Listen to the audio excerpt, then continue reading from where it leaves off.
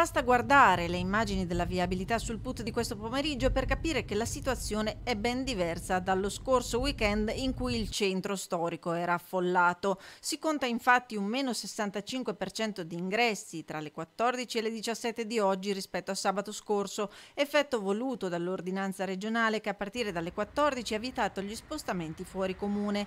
Non c'è stato bisogno quindi di far scattare il piano anti-assembramento che prevedeva l'attivazione dei cinque varchi in centro storico per accedere a Calmaggiore e contenere il flusso di persone. Lo stiamo gestendo grazie al supporto della Polizia Locale, della Protezione Civile e del gruppo Alpini che ringrazio.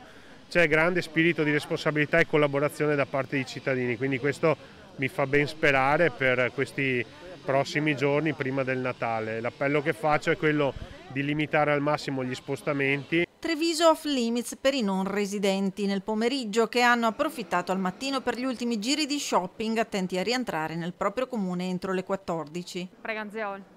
Ha approfittato di questa mattina perché poi dalle 14 non si può più. Esatto, esattamente, sì. È da Villorba.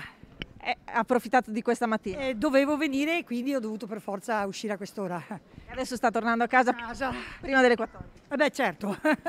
e già dal mattino lo schieramento di agenti di polizia locale per controllare gli assembramenti in centro storico e al mercato. Questa mattina abbiamo necessariamente dovuto contingentare gli ingressi al mercato dalle 10.30 in quanto c'era rischio di assembramento. Per quanto riguarda invece il centro storico abbiamo potuto verificare sia con le immagini della videosorveglianza che con gli agenti che sono presenti sul posto che non era necessario avviare i checkpoint